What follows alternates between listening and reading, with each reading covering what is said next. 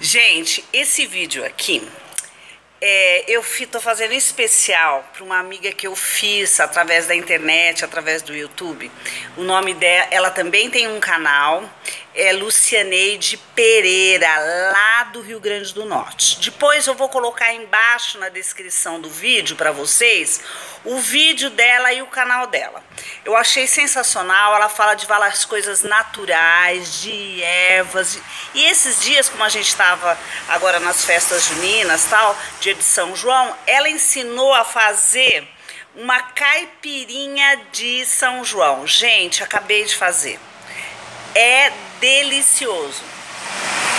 Hum. E é suave, você pode deixar ela bem suave, uma coisa levinha que dá para você tomar uh, sem problema. Se você quiser mais forte, como ela mesma disse, você coloca mais pinga. Mas eu vou pôr aí embaixo, entrem lá e assistam o vídeo dela.